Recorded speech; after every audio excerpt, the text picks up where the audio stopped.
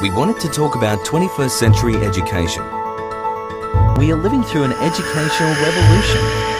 The pace of change is staggering. Schools, regions, entire countries are turning education on its head and redefining the experiences of students and of teachers. The impact is felt by millions of children and their families around the world. Let's consider for a moment the world in which they live. A world with so much knowledge it's hard to grasp. People are creating 2,000 new websites every hour. They are uploading 35 hours of video every minute and watching 2 billion YouTube videos every day. By the time they leave school, teenagers average nearly 1,000 Facebook friends. They connect with people thousands of miles away as if they were in the same room. They consume, produce, and communicate information in previously unimaginable ways. They truly are the children of a globalized world.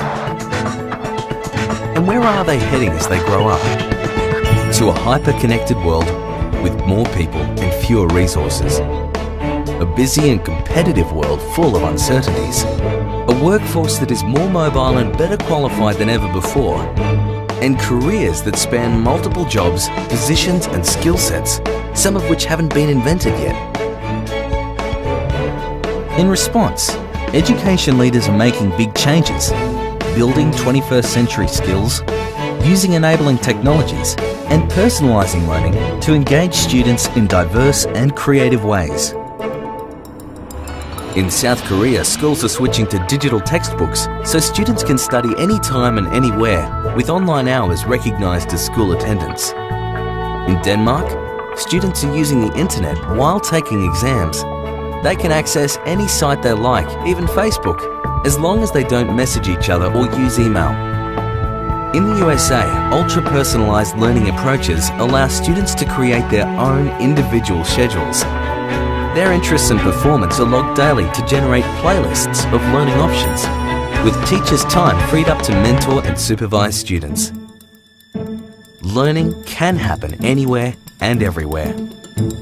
That's why some Australian schools are pushing learning beyond school walls, where internships with local organisations are a fundamental part of each student's learning plan. Distance learning programs are connecting seriously disengaged students with online learning communities and personal mentors to help them rediscover their love for learning.